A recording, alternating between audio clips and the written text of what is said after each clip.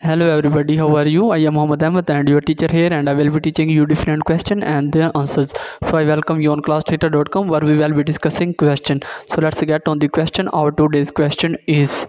what is the process of managing and assigning policy definitions by grouping a set of policies into a single item option a grouping option b cluster option c initiative option d startup the correct answer of the question option c so that's the correct answer of the question if you have any question just leave a comment i will be answering you as soon as i can thank you very much for watching the video please don't forget to like share and subscribe our channel until next question bye bye